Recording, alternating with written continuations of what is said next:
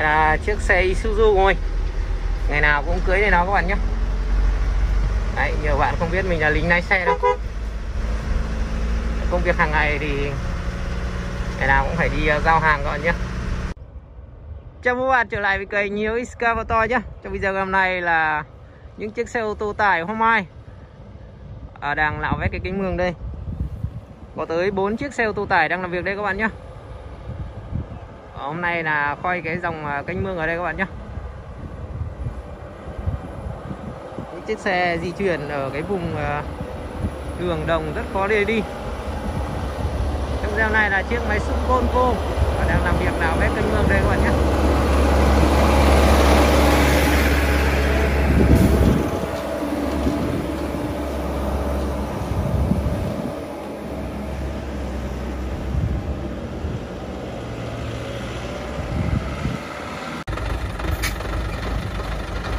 buổi sáng ngày hôm nay thì trời rất là đẹp các bạn nhé à, những bác à, ô tô tải hoa mai chở đất để quay vét cái, cái mương ở đây. Để à, làm tưới tiêu các bạn nhé cái mương đây lâu ngày thì cái đất nó lấp sắp đầy rồi. Đi à, đi làm quên mẹ nó cả lết cả nước ở trên xe. Kéo để ý thì còn mẹ nó thế bực cùng à, chiếc máy xúc Volvo này còn khá là đẹp các bạn nhé EC51 à con này EC55 ở khu vực mình thì Volvo nó hơi ít.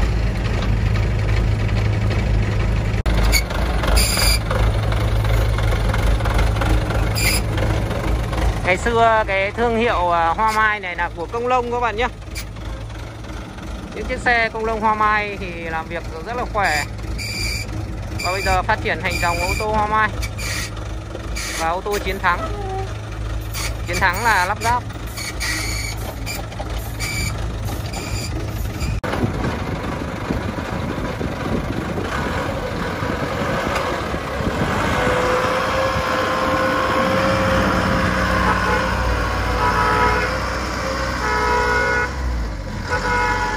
Hải đâm nhau rồi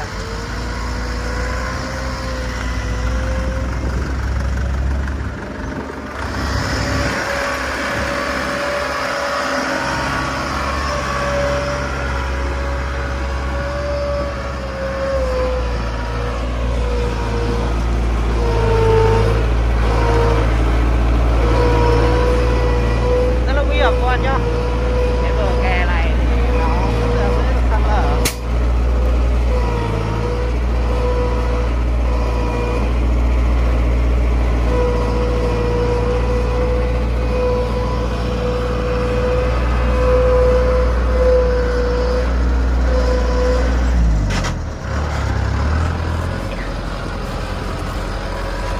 Ngày hôm nay thì mình không mang theo tay chống rung các bạn nhé các bạn có thể thấy chiếc xe ô tô độ đầu bờ kia nó là xe của mình nhá. Còn xe Isuzu.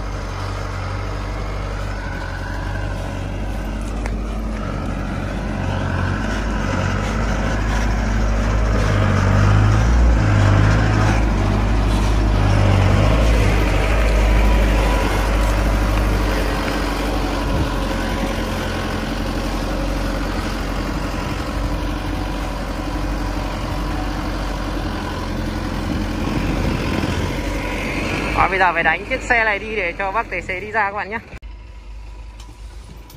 Rồi cảm ơn các bạn đã xem video nhé. Bây giờ mình phải đi rồi.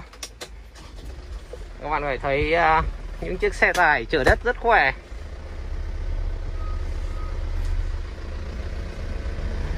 Ngày hôm nay thì uh, mình phải đi uh, đăng kiểm xe các bạn nhé. Xe hết đăng kiểm rồi. Đây là chiếc xe Isuzu của mình Ngày nào cũng cưới này nó các bạn nhé. Đấy, nhiều bạn không biết mình là lính lái xe đâu.